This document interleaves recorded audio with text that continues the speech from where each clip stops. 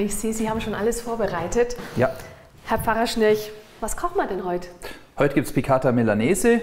Ich habe Schnitzelchen von der Pute, Mhm. habe äh, Spaghetti hier von einem örtlichen Produzenten, Eier und Panade, Parmesan. Italienisch, wie kommen Sie Genau. dazu? Haben Sie da besondere Vorlieben? Also Italien ist das Land, in dem ich eigentlich am liebsten hinfahre. Und die Lebensart gefällt mir und es ist einfach zu kochen. Also man kann mit relativ geringem Aufwand was Gutes zaubern. Das ist ganz gut, wenn man recht schnell kochen kann auch. Dann legen wir los, oder? Ja, gehen wir gerade rüber. Da habe ich schon was vorbereitet. Sehr schön. Also ich habe hier schon vorbereitet äh, Tomaten. Tomatensauce. Soße. Mhm. Die braucht ein bisschen länger wahrscheinlich, oder? und Die riecht Ja, die braucht gut. ein bisschen länger.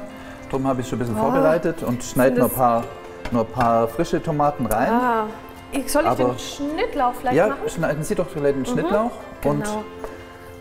den tun wir dann auch rein.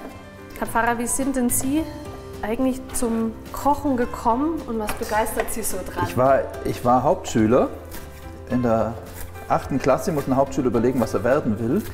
Und da habe ich mir überlegt, also entweder werde ich Koch oder ich werde Pfarrer. Mhm. Und dann äh, ist doch Pfarrer draus geworden. Aber das Kochen ist geblieben. Ich habe schon als Jugendlicher immer gern gekocht. Gebacken, backen tue ich jetzt inzwischen gar das nicht mehr, aber Von der Mutter gelernt oder wie kam das habe ich das? daheim gelernt, ja, bei meiner Mutter.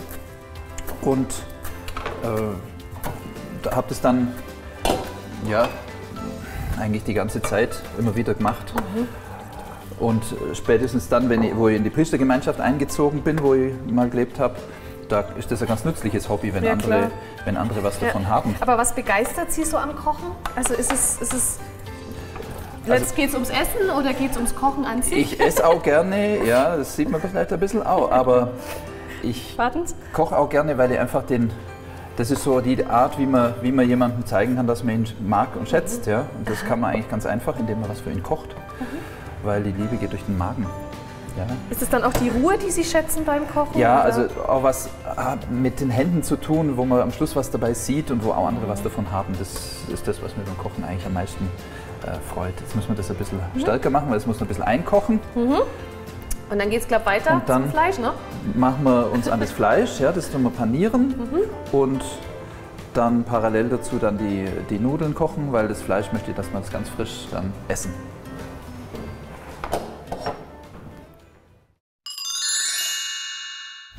Jetzt legen wir mal los. Ja, ich muss das Fleisch Sie sagen mir, was ich würzen. machen soll. Äh, ja, Sie müssen erst einen Moment warten, bis das Fleisch Mhm. gewürzt habe. Leicht pfeffern. Salzen tue ich eigentlich ganz wenig. Ich tue bloß ein bisschen Salz in, also das können Sie machen, Mhm. Ah, ins ein bisschen. Mhm. Salz ins Ei rein. Schön reiben. Ja, Sie sagen Stopp. Ja, ja, nur, nur, nur dazu, nur zu. Das, Ja? ja, das Weiter? ist ja ganz wenig Ei dann dran an dem. Okay. Und ich würde ich tue noch ein bisschen dazu. okay. Und wunderbare Farbe von den Eiern, gell? das freut einen jedes Sehr Mal. schön. Das stimmt. Was sind Sie eigentlich für Typ Koch? Sind Sie so der Rezeptkocher oder der großes Menükocher? Also ich habe viele, ich hab viele Kochbücher und die, da lese ich auch ab und Mhm. zu drin, aber ich koche ganz selten mit Kochbuch, weil das macht Ah, man aus Gefühl mhm. raus. Also ich koche sowieso meistens zu viel, aber ähm, das mache ich alles nach Gefühl. Mhm. Und das ist gleich eigentlich auch besser.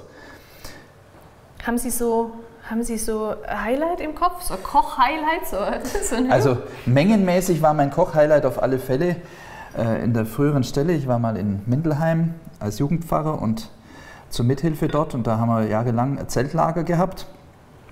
Und ja, schön, das muss richtig schön sein, ja. Äh, also richtig dick und drauf. ich habe die Ko Kochtruppe geleitet vom Zeltlager. Da hatte ich äh, eine Truppe mit, mit Jungköchen sozusagen. Jungs, die das sonst zum Teil auch noch nie gemacht hatten zu Hause, wo die Eltern dann gestaunt haben, was, du kannst kochen. und da, das macht dann richtig Spaß, so Schnitzel für 80 Leute, das ist... Für 80 Ja, Leute, wie ja. geht man da dran? Ich meine, Ah, da muss man ganz rechnet mutig sein. hoch oder? Mhm. Ja, man rechnet das ein bisschen. Und wie gesagt, also Kinder, Jugendliche, die essen sowieso viel mehr, oftmals. Die Jungs auf alle Fälle. Mhm. Und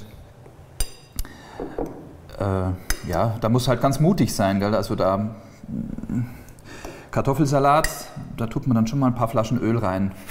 Also nicht bloß so ein Esslöffel voll Ja. und so. Also man muss, man muss ein bisschen mutig sein. Aber muss ehrlich sagen, das habe ich auch von Jugendlichen gelernt. Denn in meiner Kaplanstelle, da haben das Jugendliche gemacht und das hat mir so imponiert, dass ich gesagt habe, das kann ich auch. Und da habe ich von denen was gelernt. Ja. Gut, wenn wir das haben, dann gehen wir rüber und tun das rausbacken. Dann nehmen wir es gleich mit. Ja, Ich darf es Ihnen geben. jawohl. Super.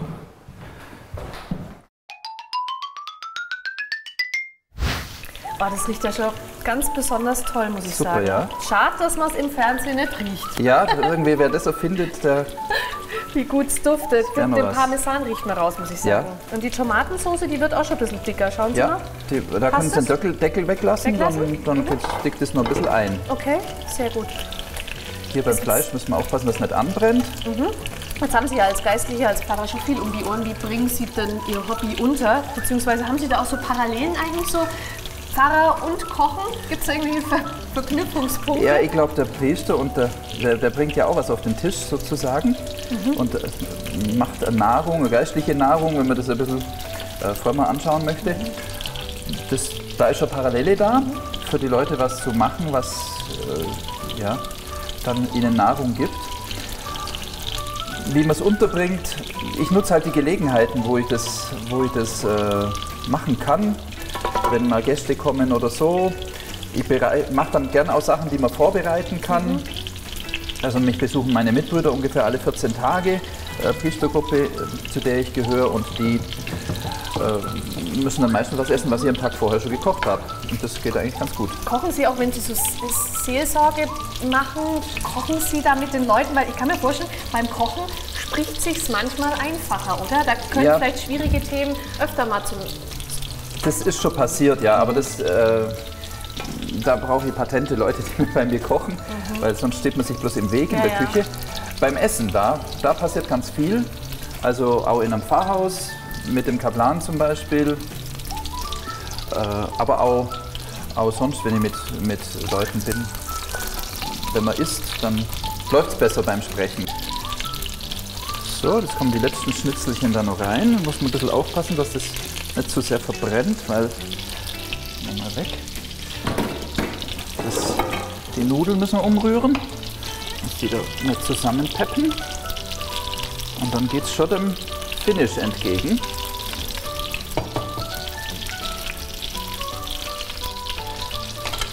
Soll ich. Ja. Sagen Sie mir, was ich tun soll? Sie können den Tisch decken. Ja, das mache ich doch. Sehr gern.